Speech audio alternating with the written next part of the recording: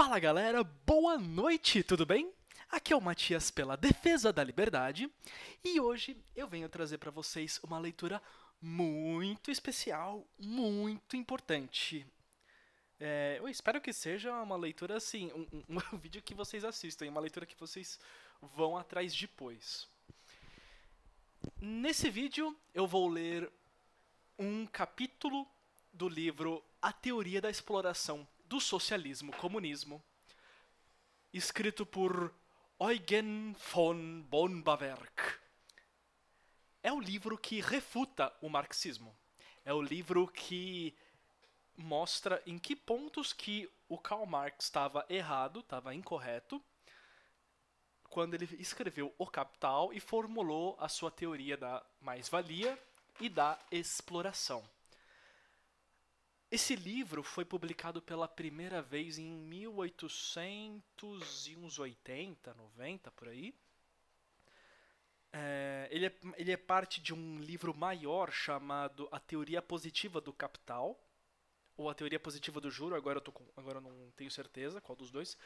Eu vou deixar aqui na descrição o, o, o texto completo. É, e aí o que aconteceu? Ele é um, é um baita livro de, uns, de três volumes, inclusive.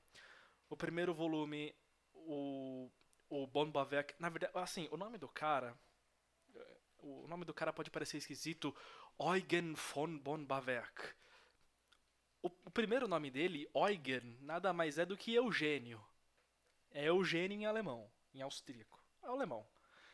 Então, Eugen pode virar Eugen em inglês, que é o Eugênio. Então é o Eugênio, é o Eugênio que escreveu o livro. Eugênio.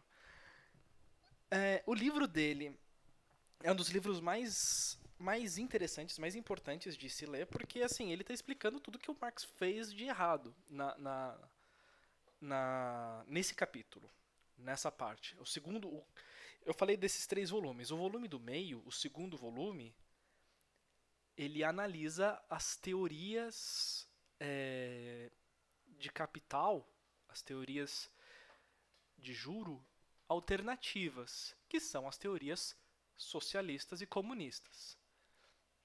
É, aí o Instituto Mises pegou essa parte do texto, essa parte do capítulo, e montou um livro, é, reformulou isso num livro que eles, estão, que eles publicam como a teoria da exploração do socialismo comunismo, escrito por Bomba Verca. Então, isso é só para vocês entenderem. Então, aqui na descrição vão ter, ou tem, os dois, os dois links para o livro em português, que é esse pedaço do livro maior, e o livro maior, que é um puta livro gigante com três volumes, tá? Aí fica a gosto de vocês. O único problema é que esse livro maior, essa obra completa, só tem em inglês. Tá? Aí isso pode dificultar a vida para algumas pessoas. Então, assim, essa leitura ela vai ser um pouco mais longa, porque é um capítulo pequeno, mas é um capítulo inteiro. Então, deve durar mais ou menos o dobro do tempo de uma leitura normal, tá? E ainda assim eu vou pular um capítulo ou outro que o Bombaverk ele sai por uma tangente, então ele sim, ele tá no meio da crítica do Marx, ele para e fala assim, olha, eu não estou desconsiderando Marx, eu acho que ele é muito inteligente, não sei o que, eu acho que ele é um intelectual de primeira categoria, mas é, ele tinha tanta certeza das ideias dele que ele não se deu ao cuidado de trabalhar elas com profundidade. Então, assim, é, esse, esse pedaço que não está falando exclusivamente do trabalho do Marx, eu vou pular, tá? Acho que tem, um, tem um, um, trecho, uma parte, não é muito não, não, não vai prejudicar a leitura. É, então, eu vou começar aqui para quem tiver o livro, para quem o PDF está aí embaixo, né? Se vocês quiserem acompanhar a leitura, inclusive, é, a, eu vou começar a leitura na página 101, é o capítulo 3, tá? Então, no primeiro, nos primeiros capítulos do livro, o Bombaverk ele analisa a teoria e depois ele analisa a, ele, ele formula a refutação. Ele formula, ele formula a explicação de por que, que essa teoria está incorreta. Tá? Então, eu vou começar a leitura agora, de novo, pelo capítulo 3, página 101. Capítulo 3. exame e refutação da proposição básica de Marx. Parte 8. Marx escolheu um método de análise defeituoso. É só um, um parênteses aqui. Parte 8, essas partes elas são enumeradas desde o começo do livro, tá? Então, é, não se preocupa que esse capítulo falando, des, des, falando da teoria do Marx é a primeira parte que eu estou lendo, tá? Não se preocupem. Ainda não pulei nada, vou avisar quando eu pular alguma coisa. Então, parte 8, Marx escolheu um método de análise defeituoso. Alguém que busque uma verdadeira fundamentação da tese em questão poderá encontrá-la através de dois caminhos naturais: o empírico e o psicológico. O primeiro caminho nos leva a simplesmente examinar as condições de troca entre mercadorias procurando ver se nelas se espelha uma harmonia empírica entre valor de troca e gasto de trabalho. O outro, com uma mistura de indução e dedução muito usada em nossa ciência, nos leva a analisar os motivos psicológicos que norteiam as pessoas nas trocas e na determinação de preços, ou em sua participação na produção. Da natureza dessas condições de troca, poderíamos tirar conclusões sobre o comportamento típico das pessoas. Assim, descobriríamos também uma relação entre preços regularmente pedidos e aceitos, de um lado, e a quantidade de trabalho necessária para produzir mercadorias, de outro.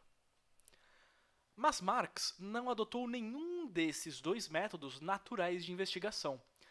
É muito interessante constatar em seu terceiro volume, que ele próprio sabia muito bem que nem a comprovação dos fatos, nem a análise dos impulsos psicológicos que agem na concorrência teria um bom resultado para a comprovação de sua tese. Ma Marx opta por um terceiro caminho de comprovação. Aliás, um caminho bastante singular para este tipo de assunto. A prova puramente lógica, uma dedução dialética tirada da essência da troca. Marx já encontrara no velho Aristóteles que a troca não pode existir sem a igualdade, e a igualdade não pode existir sem a comensurabilidade. Marx adota esse pensamento. Imagina a troca de duas mercadorias na forma de uma equação. Deduz que nas duas coisas trocadas, portanto igualadas, tem de existir algo comum da mesma grandeza. E conclui por propondo-se a descobrir essa coisa em comum, a qual se devem poder reduzir como valores de troca as coisas equiparadas. Parte 9. Fatos que antecedem uma troca devem evidenciar antes desigualdade do que igualdade. Eu gostaria de intercalar aqui um comentário. Mesmo a primeira pressuposição, a de que na troca de duas coisas existe uma igualdade das duas, igualdade essa que se manifesta, o que, afinal, não significa grande coisa, me parece um pensamento muito pouco moderno e também muito irrealista, ou, para ser bem claro, muito precário. Onde reinam igualdade e equilíbrio perfeitos, não costuma surgir qualquer mudança em relação ao estado anterior. Por isso, quando no caso da troca tudo termina com as mercadorias trocando de dono, é sinal de que esteve em jogo alguma desigualdade ou preponderância que forçou a alteração. Exatamente como as novas ligações químicas que surgem a partir da aproximação entre elementos de corpos, muitas vezes o parentesco químico entre os elementos do corpo estranho aproximado não é forte, mas é mais forte do que o parentesco existente entre os elementos da composição anterior. De fato, a moderna economia é unânime em dizer que a antiga visão escolástico-teológica da equivalência de valores que se trocam é incorreta. Mas não darei maior importância a esse assunto e volto-me agora ao exame crítico daquelas operações lógicas e metódicas através das quais o trabalho termina por surgir como aquela coisa em comum a qual as coisas equiparadas se poderiam reduzir. Aqui eu só vou fazer um pequeno comentário. É, nesse trecho, na parte 9, o Bombaverk está dizendo simplesmente o seguinte: olha, o Marx ele está adotando que a troca é igualdade. Na economia é consenso é, supor que essa ideia de igualdade está incorreta e que isso põe uma desigualdade. Ainda assim, eu vou ignorar esse fato e vou prosseguir a análise como se essa pressuposição do Marx estivesse correta. Então ele dá, ele dá uma colher de chá. Ele fala: ó, oh, tem esse ponto que está errado, mas eu vou ignorar que isso está errado e vou e, e vou mostrar que está errado só pelo resto. Então, assim, isso, isso é um. Isso é um, é um benefício que o Bomba Verk está dando. Agora eu vou retomar. Parte 10. Método intelectual errôneo de Marx. Para sua busca desse algo em comum, que caracteriza o valor de troca, Marx procede da seguinte maneira: coteja as várias características dos objetos equiparados na troca e, depois, pelo método de eliminação das diferenças, exclui todas as que não passam nessa prova, até restar, por fim, uma única característica, a de ser produto de trabalho. Conclui, então, que seja esta a característica comum procurada. E um é um procedimento estranho, mas não condenável. É estranho que, em vez de testar a característica de modo positivo, o que teria levado a um dos dois métodos antes comentados, coisa que Marx evitava, ele procure convencer-se, pelo processo negativo, de que a qualidade buscada é exatamente aquela, pois nenhuma outra é a que ele procura, e a que ele procura tem de existir. Esse método pode levar à meta desejada quando é empregado com a necessária cautela e integridade, ou seja, quando se tem escrupulosamente o cuidado necessário para que entre realmente nessa peneira lógica tudo o que nela deve entrar, para que depois não se cometa engano em relação a qualquer elemento que porventura fique excluído da peneira. Mas como procede Marx? Desde o começo, ele só coloca na peneira aquelas coisas trocáveis que têm a característica que ele finalmente deseja extrair como sendo a característica em comum deixando de fora todas as outras que não a têm. Faz isso como alguém que, desejando ardentemente tirar da urna uma bola branca, por precaução coloca na urna apenas bolas brancas. Ele limita o campo de sua busca da substância do valor de troca às mercadorias. Esse conceito, sem ser cuidadosamente definido, é tomado como mais limitado do que o de bens, e se limita a produtos de trabalho, em oposição a bens naturais. Aí, então, fica óbvio que, se a troca realmente significa uma equiparação que pressupõe a existência de algo comum da mesma grandeza, esse algo comum deve ser procurado e encontrado em todas as espécies de bens trocáveis. Não só nos produtos de trabalho, mas também nos dons da natureza, como terra, madeira no tronco, energia hidráulica, minas de carvão, pedreiras, jazidas de petróleo, águas minerais, minas de ouro, etc. Excluir, na busca do algo comum, que há na base do valor de troca aqueles bens trocáveis que não sejam bens de trabalho, é, nessas circunstâncias, um pecado mortal metodológico. É como se um físico que quisesse pesquisar o motivo de todos os corpos terem uma característica comum, como peso, por exemplo, selecionasse um só grupo de corpos, talvez o dos corpos transparentes, e a seguir cotejasse todas as características comuns aos corpos transparentes, terminando por demonstrar que nenhuma das características, a não ser a transparência, pode ser a causa do peso, e proclamasse, por fim, que, portanto, a transparência tem de ser a causa do peso. A exclusão dos dons da natureza, que certamente jamais teria ocorrido a Aristóteles, pai da ideia da equiparação na troca, não pode ser justificada principalmente porque muitos dons naturais, como o solo, são dos mais importantes objetos de fortuna e comércio. Por outro lado, não se pode aceitar a afirmação de que, em relação aos dons naturais, os valores de troca são sempre casuais e arbitrários. Não só existem preços eventuais para produtos de trabalho, como também, muitas vezes, os preços de bens naturais revelam relações nítidas com critérios ou motivos palpáveis. E é conhecido que o preço de compra de terras constitui um múltiplo da sua renda segundo a porcentagem de juro vigente.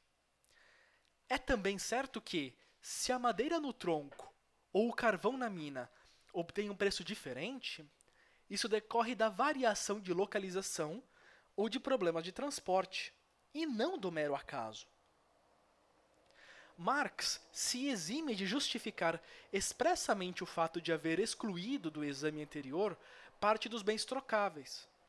Como tantas vezes, também aqui sabe deslizar sobre partes espinhosas de seu raciocínio com uma escorregadia habilidade dialética. Ele evita que seus leitores percebam que seu conceito de mercadoria é mais estreito do que o de coisa trocável. Para a futura limitação no exame das mercadorias, ele prepara com incrível habilidade um ponto de contato natural, através de uma frase comum, aparentemente inofensiva, posta no começo de seu livro. A riqueza das sociedades, em que reina a produção capitalista, aparece como uma monstruosa coleção de mercadorias.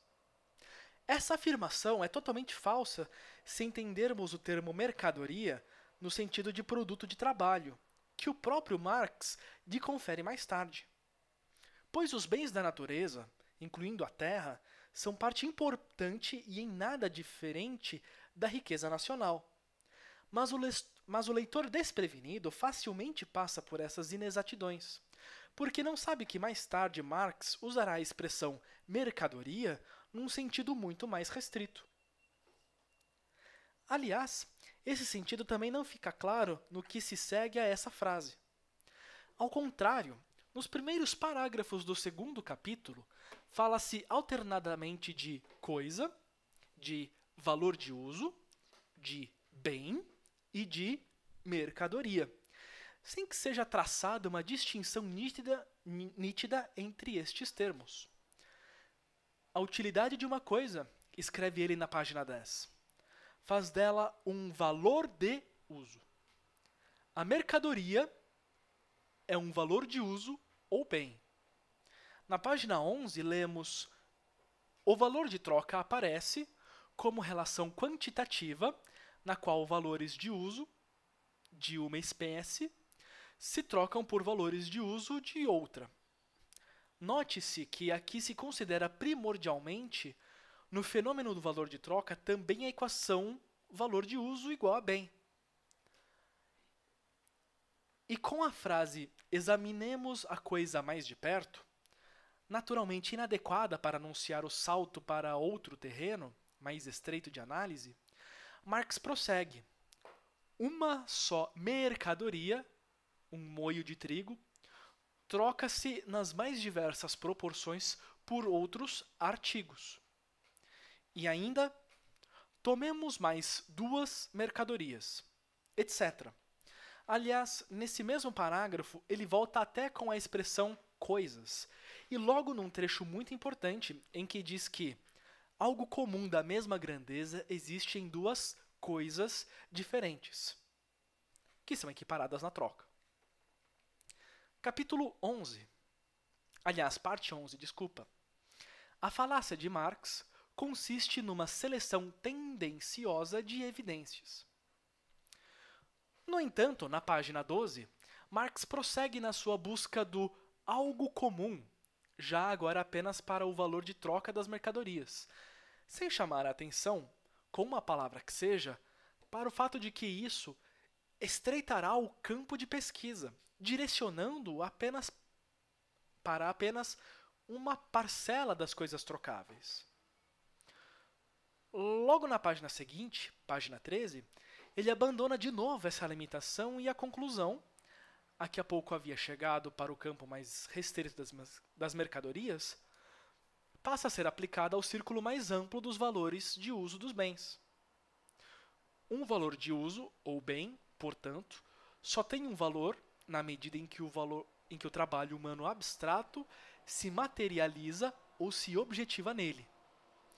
Se no trecho decisivo Marx não tivesse limitado sua pesquisa aos produtos de trabalho, mas tivesse também procurado algo comum entre os bens naturais trocáveis, ficaria patente que o trabalho não pode ser o elemento comum.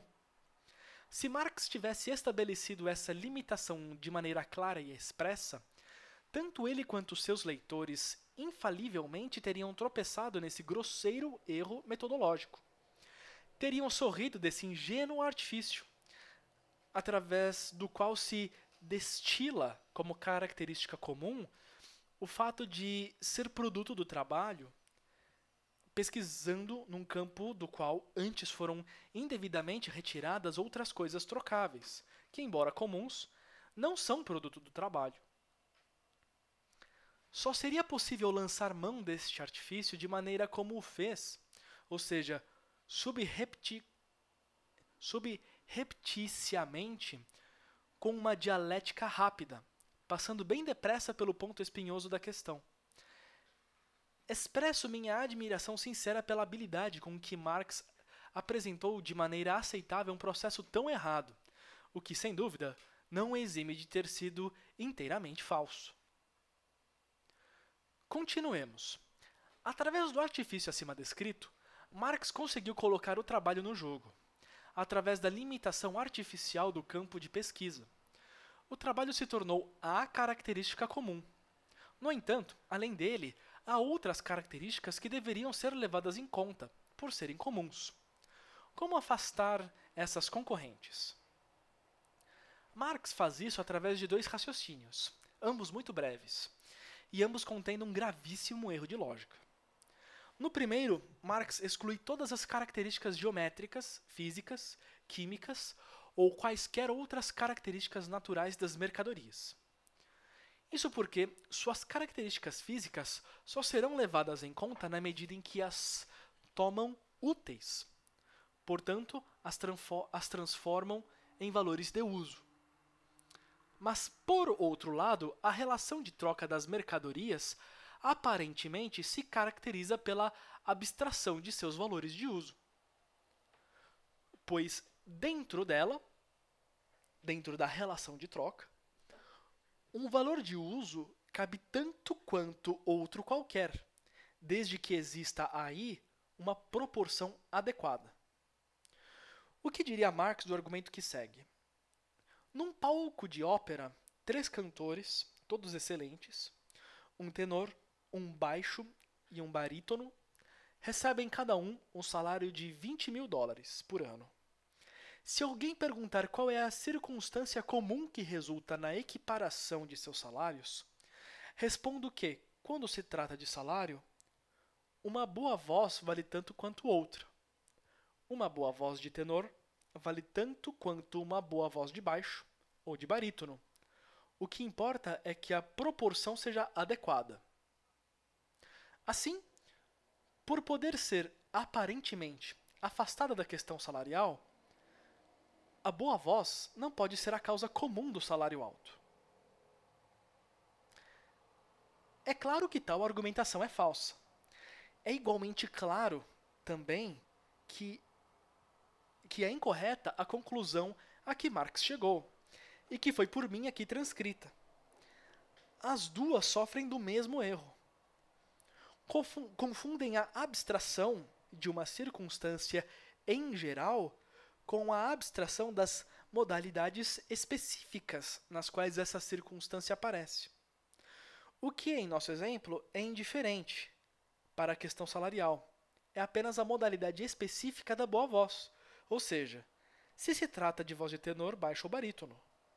Mas não a boa voz em si. Da mesma forma, para a relação de troca das mercadorias, abstrai-se da modalidade específica sob a qual pode aparecer o valor de uso das mercadorias, quer sirvam para a alimentação, quer sirvam para a moradia ou para a roupa. Mas não se pode abstrair o valor do uso em si, Marx deveria ter deduzido que não se pode fazer abstrações desse último, pelo fato de que não existe valor de troca onde não há valor de uso, fato que o próprio Marx é forçado a reconhecer repetidamente. Mas coisa pior, pior acontece com o passo seguinte dessa cadeia de argumentação. Se abstrairmos do valor de uso das mercadorias, diz Marx textualmente, resta-lhes só mais uma característica, a de serem produtos de trabalho. Será mesmo só mais uma característica?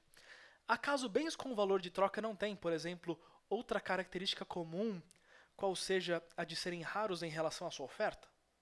Ou de serem objetos de cobiça e de procura? Ou de serem propriedade privada ou produtos da natureza? E ninguém diz melhor, nem mais claramente do que o próprio Marx, que as mercadorias são produtos tanto da natureza quanto do trabalho. Marx afirma que as mercadorias são combinação de dois elementos, matéria-prima e trabalho. E cita Petit num trecho em que este diz que o trabalho é o pai da riqueza e a terra é sua mãe. Por que, pergunto eu, o princípio do valor não poderia estar em qualquer uma dessas características comuns, tendo de estar só na de ser produto do trabalho? Acresce que, a favor dessa última hipótese, Marx não apresenta qualquer tipo de fundamentação positiva. A única razão que apresenta é negativa, pois diz que o valor de uso abstraído não é princípio de valor de troca. Mas essa argumentação negativa não se aplica com igual força a todas as outras características comuns que Marx ignorou? E há mais ainda. Na mesma página 12, em que Marx abstraiu da influência do valor de uso no valor de troca, argumentando que um valor de uso é tão importante quanto qualquer outro, desde que exista em proporção adequada, ele, nos diz o seguinte sobre o produto de trabalho. Mas também o produto de trabalho já se transformou em nossas mãos. Se abstrairmos do seu valor de uso, abstrairemos também dos elementos materiais e das formas que o tornam valor de uso. Ele já não será mesa, casa ou fio ou outra coisa útil. Todas as suas características sensoriais serão eliminadas. Ele não será produto de trabalho em marcenaria, construção ou tecelagem ou outro trabalho produtivo. O caráter utilitário do, dos trabalhos corporificados nos produtos de trabalho desaparece se desaparecer o caráter utilitário desses produtos de trabalho, da mesma forma que desaparecem as diversas formas concretas desse trabalho. Elas já não se distinguem. São reduzidas a trabalho humano igual, a trabalho humano abstrato. Será que se pode dizer, de um modo mais claro e explícito, que, para a relação de troca, não apenas um valor de uso, mas uma espécie de trabalho ou produto de trabalho, vale tanto quanto qualquer outro desde que exista na proporção adequada? E que se pode aplicar ao trabalho exatamente o mesmo critério em relação ao qual Marx antes pronunciou seu veredito de exclusão contra o valor de uso? Trabalho e valor de uso têm, ambos, um aspecto quantitativo e outro qualitativo. Assim como o valor de uso é qualitativamente diverso em relação à mesa, casa ou fio, assim também são qualitativamente diferentes os trabalhos de marcenaria, de construção ou de tecelagem. Por outro lado, trabalhos de diferentes tipos podem ser diferenciados em função de sua quantidade enquanto é possível enquanto é possível comparar valores de uso de diferentes tipos segundo a magnitude do valor de uso. É absolutamente inconcebível que circunstâncias idênticas levem ao mesmo tempo, levem ao mesmo tempo à exclusão de alguns elementos e à aceitação de outros. Se por acaso Marx tivesse alterado a sequência de sua pesquisa teria excluído o trabalho com o mesmo raciocínio com que exclui o valor de uso. Com o mesmo raciocínio com que premiou o trabalho, proclamaria então que o valor de uso, por ser a única característica que restou, é aquela característica comum tão procurada. A partir daí, poderia explicar o valor como uma cristalização do valor de uso. Creio que se pode afirmar, não em tom de piada, mas a sério, que nos dois parágrafos da página 12, onde se abstrai, no primeiro, a influência do valor de uso e se demonstra, no segundo, que o trabalho é algo comum que se buscava, esses dois elementos poderiam ser trocados entre si sem alterar a correção lógica externa. E que, sem mudar a estrutura da sentença do primeiro parágrafo, se poderia substituir valor de uso por trabalho e produtos de trabalho, e na estrutura da segunda, colocar, em lugar de trabalho, o valor de uso.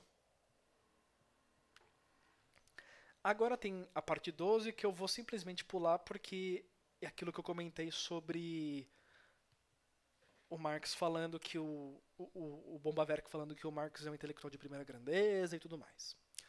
Capítulo 13. Outros. Ah, capítulo 13 eu também vou pular, ele tá.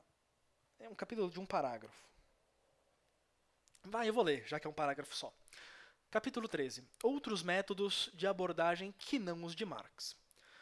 No segundo volume do presente trabalho, sua parte principal e positiva, veremos que a análise dos motivos psicológicos que influenciam um valor de troca levaria a um resultado diferente. Isso foi admitido até por Marx no seu terceiro volume póstumo. Resta, pois, a prova empírica, a prova da experiência factual. O que esta nos revelaria? Terminou o capítulo. É, ele está simplesmente falando da, parte, da terceira parte do próprio livro, desse livro que o Bombaverk escreveu, que tem lá a teoria do valor segundo Bombaverk. Capítulo 14. Cinco exceções factuais negligenciadas por Marx. A experiência mostra que o valor de troca está em relação com a quantidade de trabalho apenas em parte dos bens. E mesmo nesses, isso só acontece incidentalmente. A relação factual, embora seja muito conhecida em decorrência da obviedade dos fatos em que se baseia, é raramente levada em conta. Todo mundo, inclusive os intelectuais socialistas, concorda que a experiência não confirma inteiramente o princípio do trabalho. Frequentemente encontramos a opinião de que os casos em que a realidade está de acordo com o princípio do trabalho formam a regra geral e que os casos que contrariam esse princípio são uma exceção bastante insignificante. Essa ideia é muito errônea. Para corrigi-la de uma vez por todas, pretendo reunir as exceções que proliferam no início do trabalho dentro da economia. Verão que as exceções são tão numerosas que pouco sobra para a regra. Número 1. Um, em primeiro lugar, todos os bens raros foram excluídos do princípio do trabalho. Esses são todos os bens que não podem nunca, ou só podem limitadamente, ser reproduzidos em massa, por algum impedimento objetivo ou legal. Ricardo menciona, por exemplo, estátuas e quadros, livros raros, moedas raras, vinhos excelentes, e comenta ainda que esses bens são apenas uma parte muito pequena dos bens diariamente trocados no mercado. Se pensarmos que nessa mesma categoria se, situem, se situam, além da terra, todos os inúmeros bens cuja produção está relacionada à patente de invenção, direitos autorais, o segredo industrial, não se consideraria insignificante a extensão de tais bens. Número 2 todos os bens que não se produzem por trabalho comum, mas qualificado, são considerados como exceção. Embora nos produtos diários de um escultor, de um marceneiro especializado, de um fabricante de violinos ou de um consultor de máquinas, não se corporifique mais trabalho do que um produto diário de um simples trabalhador manual ou de um operário de fábrica, os produtos dos primeiros frequentemente têm valor de troca mais elevado, às vezes muito mais elevado, que os dos segundos. Os defensores da teoria do valor do trabalho naturalmente não puderam ignorar essa exceção. Porém, singularmente, fazem de conta que isso não é exceção, mas apenas uma pequena variante, que ainda se mantém dentro da regra. Marx, por exemplo, considera o trabalho qualificado apenas um múltiplo do trabalho comum. O trabalho complexo, diz ele, na página 19, vale só como trabalho comum potencializado ou multiplicado. Assim, uma pequena quantidade de trabalho complexo equivale a uma quantidade maior de trabalho comum. A experiência nos mostra que essa redução acontece constantemente. Uma mercadoria pode ser produto de um trabalho complexo, mas se seu valor a iguala ao produto de trabalho comum, ela passa a representar apenas determinada, determinada quantidade de trabalho comum. Eis uma obra-prima de espantosa ingenuidade. Não há nenhuma dúvida de que, em muitas coisas, por exemplo, no valor monetário, um dia de trabalho de um escultor pode valer cinco dias de trabalho de um cavador de valetas mas que 10 horas de trabalho do escultor sejam realmente 60 horas de trabalho comum, certamente ninguém pretende afirmar. Acontece que, para a teoria, assim como para se estabelecer o princípio do valor, não importa o que as pessoas pretendem, e sim o que é real. Para a teoria, o produto diário do escultor continua sendo o produto de um dia de trabalho. Se por acaso um bem que seja produto de um dia de trabalho vale tanto quanto outro bem que seja produto de cinco dias de trabalho, não importa o que as pessoas queiram que ele valha. E aí está uma exceção à regra, que se quer impor, de que o valor de troca dos bens se mede pela quantidade de trabalho humanos, humano neles corporificado. Imaginemos uma ferrovia que determinasse suas tarifas segundo a extensão do trajeto exigido por passageiros e cargas, mas que determinasse também que, dentro de um trecho com operações particularmente dispendiosas, cada quilômetro fosse computado como 2 quilômetros. Será possível alguém dizer que a extensão do trajeto é o único princípio para a determinação das tarifas de ferrovia? Certamente que não. Finge-se que sim, mas na verdade o princípio é modificado legando em conta a natureza do trajeto. Assim também, apesar de todos os artifícios, não se pode salvar a unidade teórica do princípio do trabalho. Essa segunda exceção abrange também significativa parcela dos bens comerciais, o que não deve ser necessário explicar mais detidamente. Se quisermos ser rigorosos, estão aí contidos praticamente todos os bens, uma vez que na produção individualizada de quase todos os bens entra em jogo ao menos um pouco de trabalho qualificado. O trabalho de um inventor, de um diretor, de um capataz, etc. Isso eleva o valor do produto a um nível um pouco acima daquele que corresponderia apenas à quantidade de trabalho. Número 3. A quantidade de sessões aumenta com um número bastante grande de bens produzidos por trabalho extraordinariamente mal pago. É sabido que, por razões que aqui não se precisa mencionar, em certos, em certos ramos da produção o salário de trabalho está sempre abaixo do mínimo necessário para a sobrevivência. Como, por exemplo, no caso do trabalho manual feminino, como bordados, costura, malharia, etc. Os produtos dessas ocupações têm, então, um valor extraordinariamente baixo. Não é incomum que o produto de três dias de trabalho de uma simples costureira não valha nem mesmo o produto de dois dias de um operário de fábrica. Todas as exceções que mencionei até aqui eximem certos grupos de bens da validade da lei do valor do trabalho, reduzindo, pois, o campo de validade desta própria lei. Na verdade, deixam para a lei do valor do trabalho apenas aqueles bens para cuja reprodução não há qualquer limite e que nada exigem para sua criação além de trabalho. Mas mesmo esse campo de aplicabilidade tão reduzido não é dominado de modo absoluto pela lei do valor do trabalho. Também aí, algumas exceções afrouxam sua validade. Número 4. Uma quarta exceção do princípio do trabalho é formada pelo conhecido e admitido fenômeno de que também aqueles bens cujo valor de troca se harmoniza com a quantidade de custos de trabalho não demonstram tal harmonia em todos os momentos. Ao contrário, pelas oscilações de oferta e procura, frequentemente o valor de troca sobe ou desce, além ou aquém daquele nível que corresponderia ao trabalho corporificado naqueles bens. Trabalho esse que só de determinaria um ponto de gravitação, não uma fixação do valor de troca. Parece-me que os defensores socialistas do princípio do trabalho também se ajeitam depressa com essa, com essa exceção. Constatam-na, sim, mas a tratam como uma pequena irregularidade passageira, que em nada prejudica a grande lei do valor de troca. Mas não se pode negar que tais irregularidades não são mais que exemplos de valores de troca regulados por outros motivos que não a quantidade de trabalho.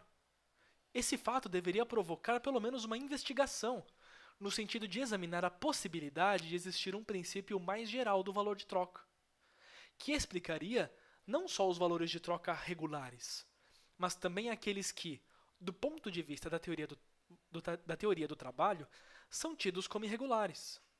Nenhuma investigação desse tipo será encontrada entre os teóricos dessa linha. Número 5. Por fim, vemos que, além dessas oscilações momentâneas, o valor de troca dos bens se desvia da quantidade de trabalho que eles corporificam de maneira considerável e constante. De dois bens cuja produção exige exatamente a mesma quantidade média de trabalho, aquele que exigiu maior quantidade de trabalho prévio vale mais. Como sabemos, Ricardo comentou extensamente essa exceção do princípio de trabalho em duas sessões do capítulo 1 de suas Grundsätze, esse, essa palavra em alemão me pegou de surpresa, desculpem. Robertus e Marx a ignoram na formulação de suas teorias, sem a negarem expressamente, o que não poderiam, o que não poderiam fazer. É conhecido demais para admitir dúvida o fato de que o valor de um tronco de carvalho centenário é mais elevado do que o correspondente ao meio minuto que sua semeadura requer. Vamos resumir. Parcela considerável dos bens não faz parte daquela presumida lei, segundo a qual o valor dos bens é determinado pela quantidade de trabalho neles corporificada. E o restante dos bens nem obedece sempre, nem com exatidão.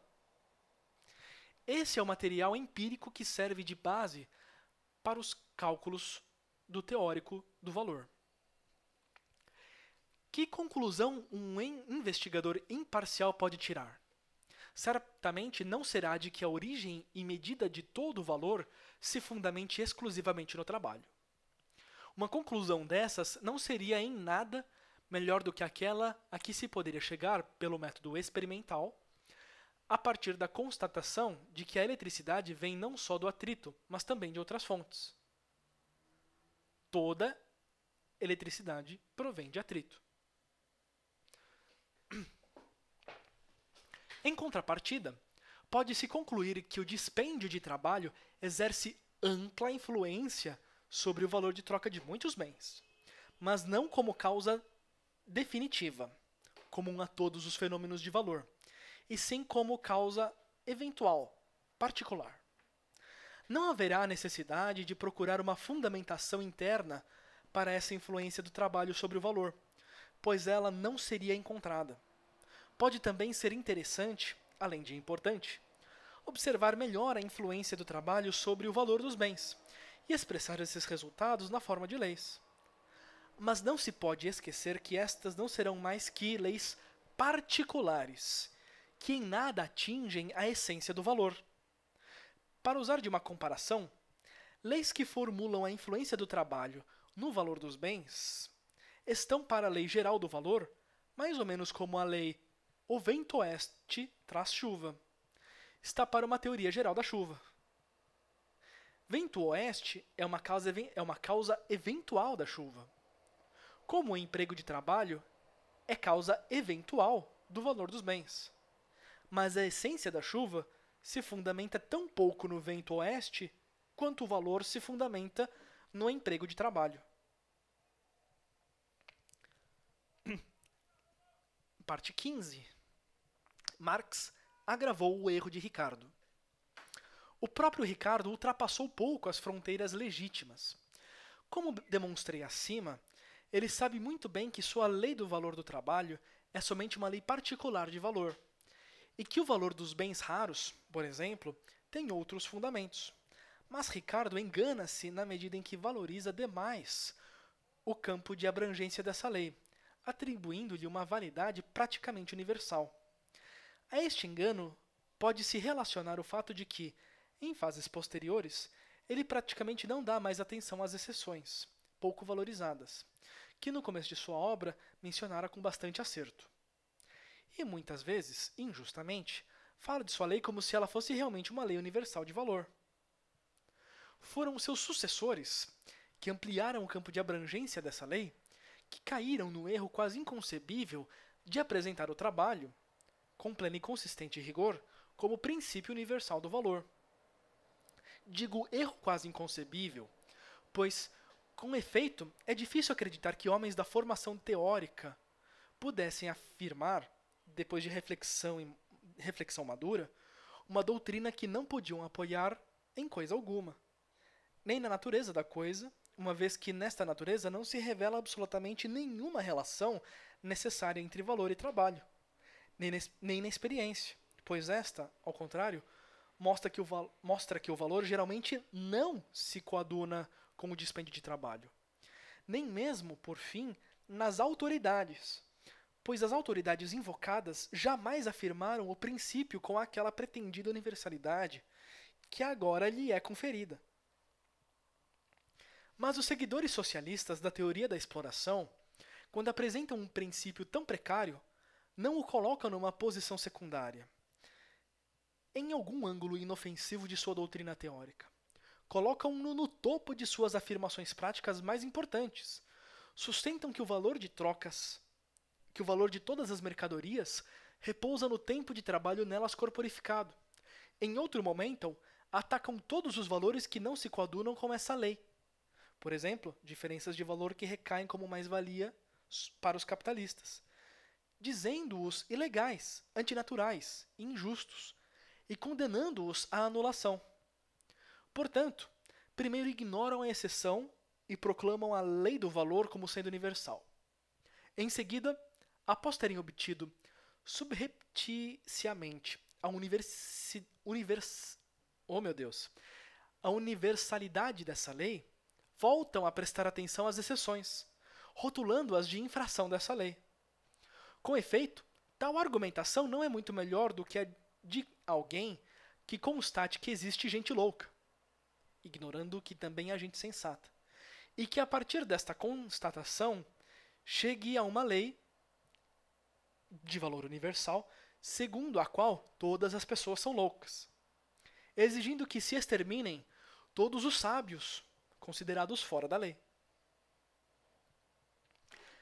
O capítulo 16 eu vou pular, ele vai falar de uma contradição do sistema marxista. É, no, no volume póstumo. Eu vou dar um pouco de eu vou dar pouca importância para esse capítulo, porque quem escreveu isso foi mais o Engels do que o Marx. O Marx já, tava, já tinha falecido. E ao pular este capítulo, a gente chega ao final da leitura. A partir de agora começa o, a parte 5 do livro, que é a interpretação da teoria do Marx pelos sucessores dele. Então, uma leitura bastante extensa. É, se, se não foi do agrado de vocês, eu, peço desculpas. Se foi do agrado, deixa nos comentários que eu faço mais se a minha voz permitir e aguentar. É, eu vou tentar fazer. Eu não vou, eu não vou repetir as coisas do Bombaverk, porque primeiro vocês conseguem ler aqui na descrição. Eu vou deixar outros links, outros textos falando dessa refutação. Eu vou tentar falar é, um pouco mais da teoria positiva do valor, ou seja, não, não, desculpa, não, não é a teoria positiva do valor, é a teoria que hoje se considera a mais correta. Ou seja, primeira parte do vídeo foi explicar por que, que a lei do valor trabalho está errada. E agora eu vou, vou falar qual que é a lei correta. ela é muito simples, para falar a verdade. O valor de uma. Vamos, vamos começar. Tem, tem, tem muitas coisas legais que dá para adotar nessa dessa leitura. Eu vou, eu, vou, eu vou falar da lei do valor. Poderia falar de, sobre metodologia, mas aí o, o vídeo vai ficar muito extenso, muito extenso. Mais extenso do que, eu, do que eu gostaria. Então, eu vou falar sobre teoria do valor. É, ou, puxando um gancho, se a teoria do Marx estava errada, qual que é a teo teoria usada hoje? Está um pouco errado dizer teoria correta. Não existe teoria correta. Existe teoria que ainda. Ah, lá vou eu entrando no debate metodológico que eu estava querendo evitar. Não existe teoria correta. Existe teoria que ainda não foi. que ainda não se mostrou errada. O que, que isso quer dizer? Isso quer dizer que a gente nunca sabe quando uma teoria está correta. A gente, mesmo que a gente utilize essa teoria. Porque essa teoria se mostrou válida para os casos nas quais foi aplicado, mas ainda não se encontrou uma teoria. E essa pode ser inclusive a teoria de verdade, digamos assim. Só que do ponto de vista do cara que está formulando a teoria, ele não sabe que essa teoria está certa. Eu vou dar um exemplo para vocês. É, qual é a cor do mouse que eu tenho aqui em casa? A cor, a cor do. Ou a cor, qual é a cor da minha camiseta? Vocês podem teorizar sobre isso o quanto vocês quiserem. Mesmo, mesmo que eu poste uma foto da minha camiseta, vocês não vão saber qual que é. Porque vocês estão tentando descobrir a verdade. Eu sei qual que é a cor. Vocês não sabem. E vocês vão formular teorias, vão chegar a conclusões, só que quando vocês concluírem, aí agora falando, a minha camiseta é preta. Só que vocês vão concluir em algum momento, vocês vão levantar como hipótese a teoria de que a minha camiseta é preta. Ou, vamos, vamos, vamos, partir da, da, do, do método mais correto. Vocês vão levantar primeiro a hipótese de que a minha camiseta é branca. Essa hipótese não vai se confirmar, por alguns motivos. Não importa quais eles forem. Depois vocês vão levantar uma outra hipótese, de que minha camiseta é vermelha. E passado algum tempo, essa hipótese também é, vai se mostrar incorreta. Passado mais algum tempo, azul vai ser eliminada. Aí alguém vai falar, ah, azul escuro. Hum, realmente. E aí vai passar mais algum tempo, talvez até bastante tempo. E aí essa teoria, essa hipótese, essa teoria vai se mostrar errada. E aí vocês vão levantar a hipótese a teoria de que a minha camiseta é preta. E de fato é preta. Só que na posição de cientista, você só vai conseguir. Você, você, não vai você não vai chegar num ponto de que essa teoria é certa. Pode chegar um dia em que essa teoria se comprove errada. Só que você não sabe quando esse dia vai chegar. Então, o fato de uma teoria não se mostrar falsa até aquele momento não quer dizer que ela é falsa. E também não quer dizer que ela é verdadeira. Não quer dizer nada. Quer dizer que, ó, por enquanto está funcionando. Quando parar de funcionar, a gente repensa a teoria. Entenderam? Tem uma, tem uma analogia interessante para isso. É a, é a teoria do cisne branco. Eu olho para um zilhão de cisnes e constato que todos eles são brancos. E aí eu formulo uma lei geral. Essa lei diz: todos os cisnes, cisnes são brancos. E a gente vive feliz da vida dali em diante. Só que chega um dia que eu encontro um cisne que é preto. Aí eu tenho que rever a minha teoria. Olha, hum, nem todos os cisnes são brancos. Os cisnes podem ser brancos ou pretos. Quem diz, quem disse, quem pode afirmar corretamente que um dia não vamos encontrar um cisne marrom, por exemplo. A gente não sabe. Então, por isso, uma, uma teoria, ela não pode se mostrar, ela nunca, você nunca pode ter certeza que ela está correta.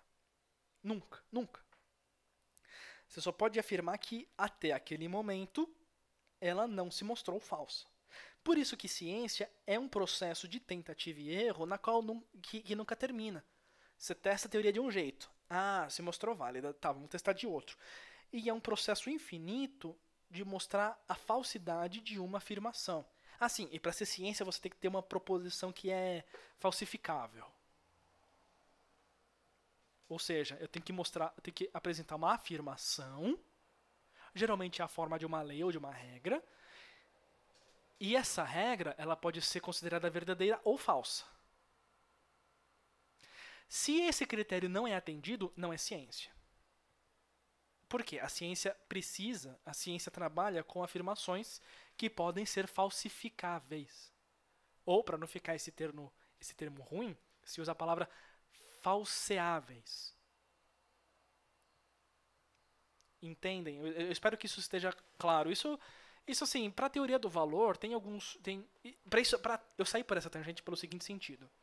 A teoria que eu vou apresentar para vocês, que é a teoria, assim, os únicos que não aceitam essa teoria são os marxistas. São os únicos que questionam, quer dizer, questionam não, né? Ignoram. Eles ignoram essa teoria. São os únicos.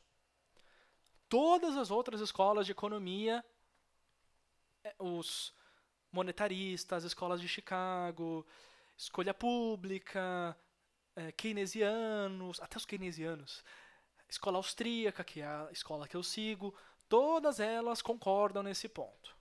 Todas, todas. Só os marxistas que insistem em falar que a causa do valor é o trabalho. Então, qual é a teoria correta? A teoria correta é mais ou menos a seguinte: o valor é subjetivo. O valor ele não é uma, uma o valor de uma coisa, qualquer coisa, não é um dado objetivo. Indivíduos diferentes validam essa valoram essa coisa em medidas diferentes. Por que isso? Porque um determinado bem satisfaz as necessidades de um indivíduo. Outro indivíduo, um, aliás, um indivíduo diferente, vai imaginar utilidades diferentes para esse bem. E a própria situação desse indivíduo pode levar a um uso diferente para aquele, ou vai apresentar um menor custo de oportunidade.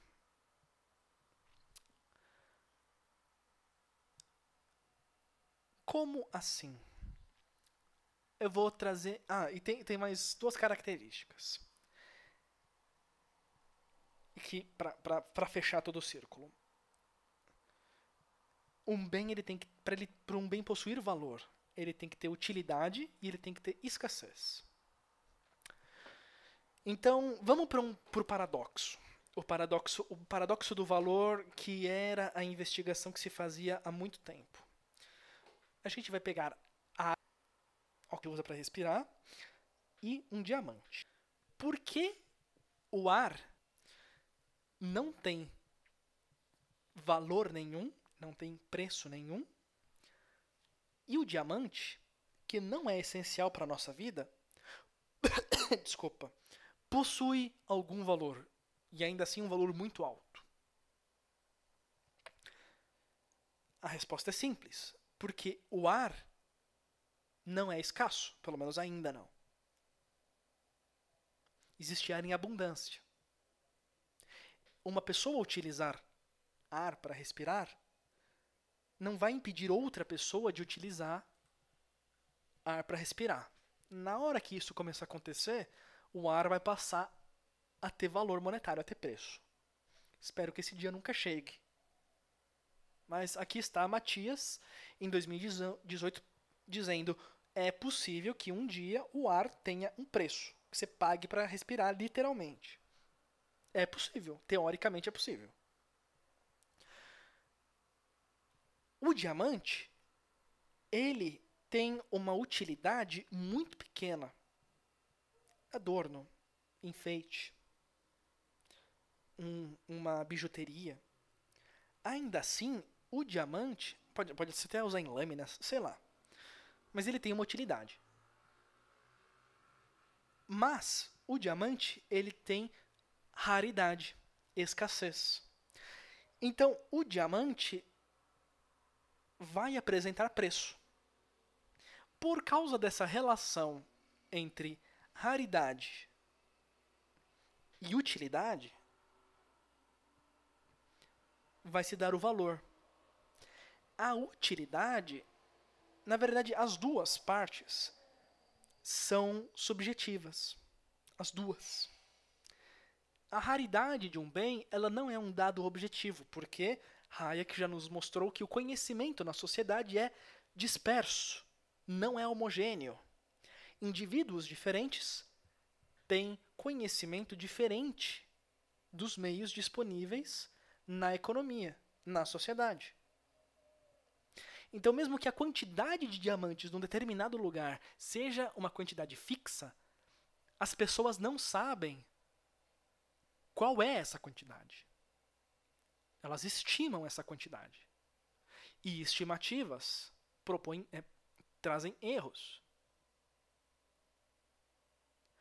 Então, esses erros vão trazer uma valoração diferente para o bem, para o diamante. Isso é um. Segundo, a utilidade. Eu posso usar o diamante para fazer uma coisa, para usar como um apoio de porta. Outra pessoa pode usar o diamante como uma bijuteria. Qual que é o valor que o Matias vai dar pro diamante?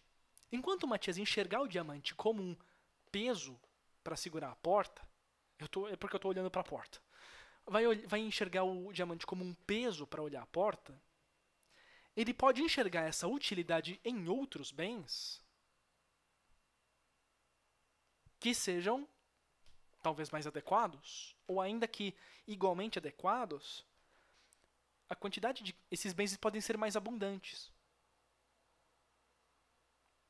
Entendem? Um, eu não preciso de um diamante para segurar peso da porta. Eu posso usar um livro, eu posso usar uma pedra, uma pedra que não seja de diamante. Então isso vai fazer do Matias, ah, eu não preciso de um diamante para para segurar a porta. Eu posso usar outra coisa. Eu posso usar um um peso, um pedaço de tronco de árvore pequeno. Então isso daí é o segundo fenômeno. Nesse segundo fenômeno tem uma coisa muito importante que é o que o Mises fala, que é o seguinte: é, o preço de uma coisa, eu não sei se eu vou conseguir falar exatamente o, o conceito, eu vou falar mais ou menos de uma forma bem ampla. É mais, é, a, é mais ou menos o seguinte. Na verdade, tudo isso, tudo isso que eu estou falando é a lei da utilidade marginal do valor. Lei da utilidade marginal. É mais ou menos o seguinte. É, vamos pensar naquela. No, no, modelo das trocas que a gente já viu, que eu já falei do Mises para vocês. Que é, inclusive, essa coisa que o Bombaverk comenta no começo da leitura sobre. É, o vídeo está ficando mais longo do que eu esperava. Eu vou, eu vou morrer sem voz aqui eu acabo me, empolgando, acho que são assuntos interessantes, então vou falando. O Mises, no, no, começo do capítulo, no começo da leitura, o Bombaverk fala: Olha, eu vou examinar. A gente sabe que coisas em estado de igualdade geralmente não produzem mudança. Equilíbrio geralmente tende a se manter equilibrado. Então, o que leva as coisas a serem trocadas é algum tipo de desigualdade. Essa desigualdade é essa valoração diferente. O que é que, o que, que tem nela? E aí, e aí a gente tem uma outra coisa. O valor das coisas não é um valor em absoluto. É um valor comparativo. Ou seja, eu não sei quanto vale o diamante. Eu sei quanto que vale um diamante em relação a uma pedra para mim. Então são duas condições diferentes. O para mim, ou seja, se for uma outra pessoa, essa relação muda e é uma relação entre coisas. Não é o diamante sozinho, é o diamante olhando com uma outra coisa do lado. Então essa é a diferença. A teoria, a teoria marxista fala, olha, o diamante tem o mesmo, tem esse preço por causa da quantidade de trabalho do diamante. Não importa se é o Matias que está olhando, não importa se é o José que está olhando, não importa se é o Pedro que está olhando. E essa, esse valor depende é, é, é um valor fixo e é um valor é, é um valor absoluto. Não é, ele não é maior ou menor do que alguma coisa. É um valor dado. Por exemplo, 10. Eu vou, eu vou tentar colocar em coisas numéricas, quantitativas, que assim pode ficar um pouco mais claro. Então, o Marx ele fala, olha, o diamante vale 10. 10 dinheiros. Legal. A teoria é, da utilidade marginal, que é a teoria das trocas de hoje, a mais, a mais atual, fala o seguinte: olha, eu não consigo dizer quanto que vale o diamante. Eu preciso que você me diga em relação a quê. Se você colocar o, dia, o diamante do lado de uma pedra, eu vou falar: olha, o diamante vale a pedra mais dois dinheiros. E, esse, e essa relação é o Matias que está dando. O Pedro pode dar uma relação diferente. Entenderam a diferença? O, o Pedro pode falar: olha, o diamante vale a pedra mais 11 dinheiros. E o José pode falar: Olha, eu acho que é a pedra que vale mais do que o diamante. Eu acho que a pedra vale o diamante mais um dinheiros. Essa que é a diferença. Por que isso? Porque cada uma dessas pessoas tem objetos diferentes e elas estão dispostas a abrir mão desses objetos na medida que esses objetos satisfazem as suas necessidades menos do que o diamante. Ou seja, o Pedro tem uma mina de diamantes. Aliás, o José. O José tem uma mina de diamantes. Um diamante para ele não vale nada. Mas uma, um pedaço de madeira que ele não tem vale bastante. Ele está disposto a trocar um diamante por um pedaço de madeira. O Pedro, ou o Matias, não tem uma fábrica de diamantes. Ele tem uma fábrica de madeiras.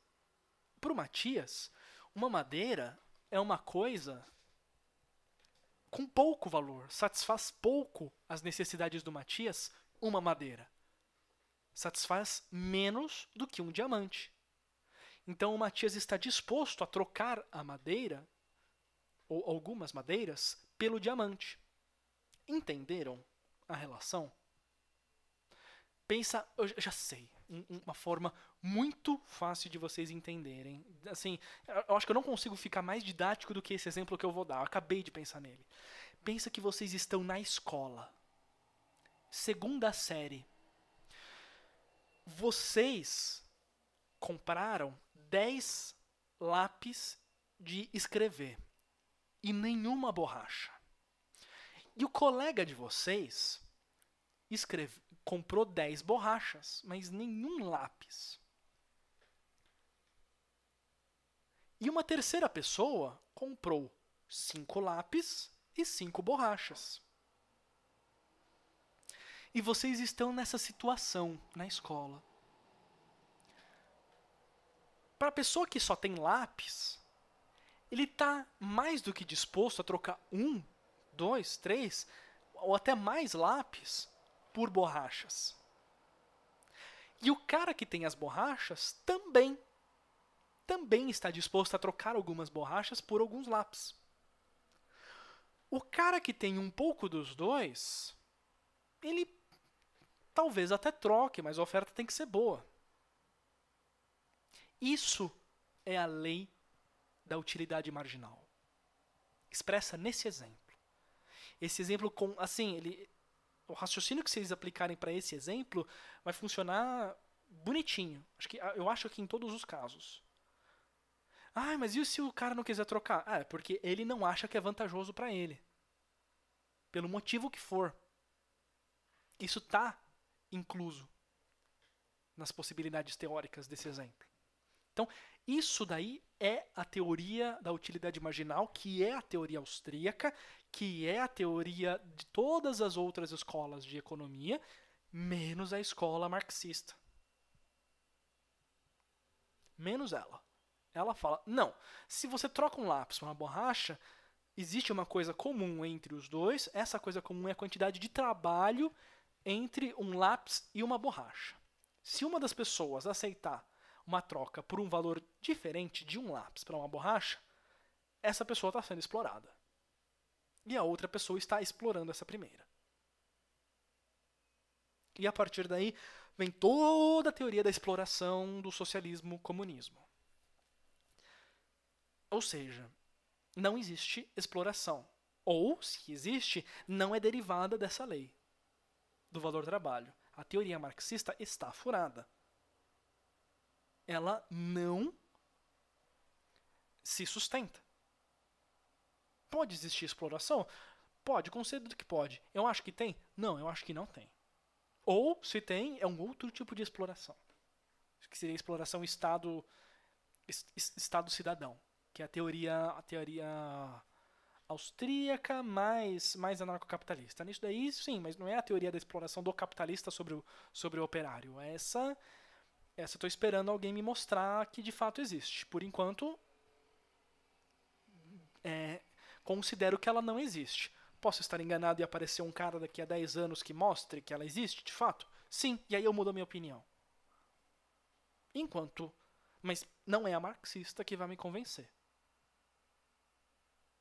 Entenderam? Eu espero que tenham entendido. Gente, foi muito bom ficar falando com você por todo esse tempo. Eu não sei nem quanto, há quanto tempo eu estou falando, lendo. Espero que vocês tenham de verdade gostado. Espero que vocês tenham aprendido. Espero que vocês tenham se divertido. Espero que vocês tenham se entretido. E boa noite.